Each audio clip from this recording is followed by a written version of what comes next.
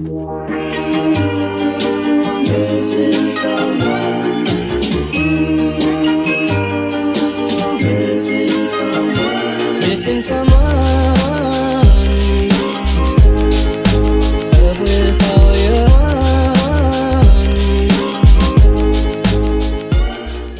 guys and welcome to another Junkyard haul. Feet Snusky.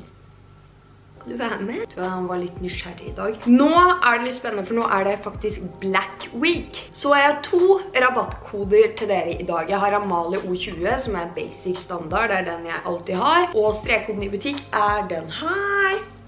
Og så har vi BF Amalie O10. Gir dere 10% ekstra rabatt på Black Friday slash week. Så da, da er det i gang. Jeg sitter i joggesett, som også jeg bestilte fra Junker for flere måneder siden. For eh, la oss ikke leke viktig her. Jeg sitter hjemme og jobber. Så hvorfor i alle dager skal jeg pynte meg for å... Her er vi ekte. Ikke sant? Hadde jeg sittet her pådrest i et outfit, så hadde jeg løyet. For det er ikke det jeg går i hjemme. Jeg burde kanskje begynne å kle på meg liksom litt sånn fett hjemme også, men hva faen er vitsen? Ingen skal se meg. Og så blir det masse møkkete klær. Da bruker jeg et joggesett i flere dager til det møkkete. Her er i hvert fall pakka, så tenker vi bare går igjennom. Det er høst, vinteraktige ting oppi her, og jeg har samarbeidet med Junkyard hver måned, og vi har vært fast i flere år, så det er it's my baby.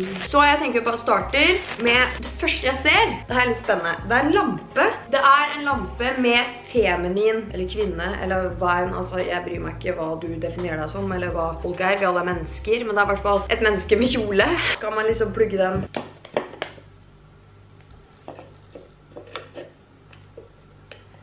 Passer den ikke? Det hadde jo vært litt lættis. Sånn tror jeg. Og jævlig svær. Og så skal man koble den til på en eller annen måte. Det er i hvert fall en USB-inngang. Eh, Den her er jo ikke norsk, så da får jeg i hvert fall plugge den i noe annet. Men i hvert fall den var dritkul. Jeg synes jo sånt er veldig fett. Sånne annerledes lamper og sånt. Vi går videre. Her er det en strikkagenser som er i masse forskjellige farger. Eh, Den her tok jeg ekstra small. Den ser bare sånn her ut. Jeg synes den bare var veldig kul nå til høsten slash vinteren med litt sånne større strikkagensere da. Og den her var fargerik, som også er fett. Jeg har ikke sett noe lik sånn her før, og den gjorde meg bare glad når jeg så på den. Skjønner dere hva jeg mener? Bare ble veldig glad av å se på den. Den er veldig sånn myk, ikke sånn stikkete stoff i det hele tatt. Eh, helt sikkert er det her. Jeg synes den var søt. Den er fra Junkyard sitt eget merke, og jeg bare ser for meg den her med olabukser. De fargene her passer veldig bra med lys wash denim, på en måte. T-skjorte. Den her er fra Vintage Supply. Jeg tok den i, jeg vet du faen, det står ikke.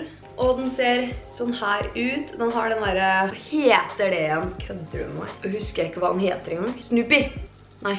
Er ikke det Snoopy? A Park Life. Eh, bare sånn oversized t-skjorte. Ikke noe sånn tjukt stoff, veldig sånn fin. Altså, jeg synes, jeg kunne sikkert ha tatt den her i en størrelse større, for jeg er veldig glad i oversized t-skjorter, og veldig fin til å bare bruke til vanlig, eller sove i, eller hva som helst. Bare sånn chille t-skjorte, hva som helst. Og grå t-skjorter, det har jeg veldig lite av, og jeg synes grått er noe man på en måte ser veldig pen ut. Jeg vet ikke. Jeg bare føler grått. Spennende. Some thongs or something. Så jeg bestilte meg en sånn her truse. Mest fordi at det ser utrolig komfortabelt ut å gå i, og så er det sånn der hold-in-effekt av high waist da. Hvertfall, så jeg tenkte at det ville se kult ut når man har en low waist av bukse, og så ha en sånn slags bokser oppi da. Så ja, den er sånn mørkegrønn.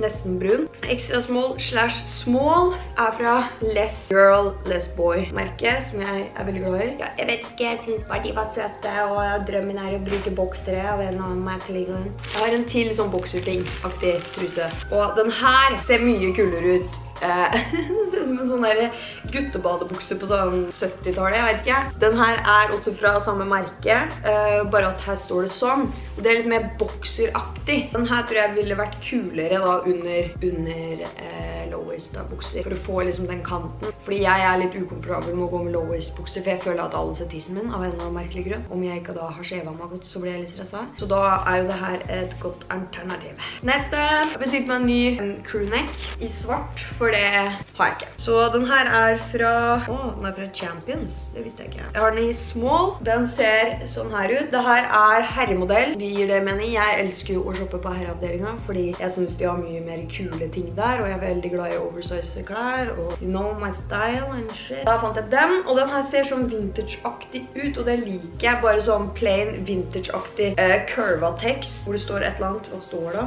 Full court. Ja. Og så er den sånn Jeg vil ikke si at den er nuppete, men den er ikke sånn veldig, veldig, veldig fin i stoffet heller. Men den er myk, så jeg tror den her har en veldig fin fit. For jeg synes sånne stive gensere blir så stygge i fitten etter hvert at det ender bare med at jeg må gi det bort. Veldig fornøyd med den. Den gleder jeg meg til å bruke, fordi svarte crewnecks, det har jeg nesten ikke. Jeg er ikke så glad i svart, men det er fint å ha noen sånne svarte plagg da. Neste her så har jeg en eller annen sånn her høstaktig eh, genser. Den ser sånn her ut. Den er fra Envy. Den er sånn cropped-aktig og er sånn brun. Sennepsbrun vil jeg nesten si. Farge. Jeg synes den bare så veldig sånn, ikke noe sånn chille-genser nødvendigvis, fordi den her var litt sånn stivere, men stretchy på en måte. Men eh, litt mer sånn når man skal kle på seg kule klær. Jeg har den i extra small, og det er zip helt ned. Det er digg, for da kan man også bruke den åpen. Ja, jeg vet ikke. Classy, cool, I don't know. Så bestilte jeg meg et par bukser fra Sweet Skateboards igjen, fordi jeg har elsket de buksene deres. Hæ? Kødder du med trynet mitt nå? Nei, det her kan ikke være sant. Nei. Ja, jeg bestilte de ekstra small, men de har labelet den feil, så størrelsen inni buksa er medium, og så står det ekstra small her. Det har skjedd med meg tre ganger på rad nå med forskjellige kleskjeder. Jeg blir helt sånn, hvorfor, liksom? Det meg? Det er ikke noe stress, jeg sender jo bare melding til J-Card, men sånn, ja. Hvert fall viser dere buksene da, de er jo veldig svære nå, kan dere si. Men det er cord eh, Sweet Skateboard-buksene eh, i cord-fløyel. Dere ser jo at de buksene her passer jo skulderlengden min. Og de buksene her er veldig oversized fra før. Jeg kunne hatt sikkert 2X, men jeg bare da føler jeg at den blir stygg i fitten i lengdene, så hvis jeg har den for liten. Men den ser i hvert fall sånn her ut da. Brun cord fløyelbukse, som du ser. Jeg elsker de buksene her, så det var synd at jeg fikk de i feil, men som sagt, det er jo ikke noe stress. Altså, skjer det med dere også, så sender dere bare en melding til J-Card, sier hva som har skjedd. Neste er en hettegenser. District 46. Eh, Den her har jeg i ekstra small, og som dere ser så er den eh, oversized, derfor tok jeg den. Så det står bare District 46, eller hva står det? 46. Men den også ser veldig sånn vintage-aktig ut, det var derfor jeg likte den. Og den er skikkelig sånn chunky. Jeg elsker chunky. Så jeg tenkte at den skal jeg ha på meg etterpå med... Jeg skulle egentlig hatt den på med de kortfløyebuksene, men de er jo for store. Og herregud, så sjukt fin. Og det er skikkelig deilig stoff. Den er chunky, myk, og selvfølgelig pustoff inni. Of course. Hvis ikke så hadde det vært noe gærent. Nei, wow, den var skikkelig fin. Lomme foran, alt sånt der. Nei, mm. smack my ass. Det siste er, det siste oppi pakka nå er et joggesett. Local Hero, som er det samme merket som jeg har på nå. Altså joggedress-settene deres er amazing. Jeg har hatt så mange av dem. Dette er et uh, hettegenser-joggesett, sånn som jeg har på meg nå. Lilla! Så jeg tok det her i small, fordi de hadde, de hadde bare small og medium og large inne, tror jeg, når jeg bestilte. Uh, men i hvert fall, den ser i hvert fall sånn her ut, overdelen. Veldig fin, og jeg elsker lilla, det er jo min favorittfarge. Og lilla og så neongrønn.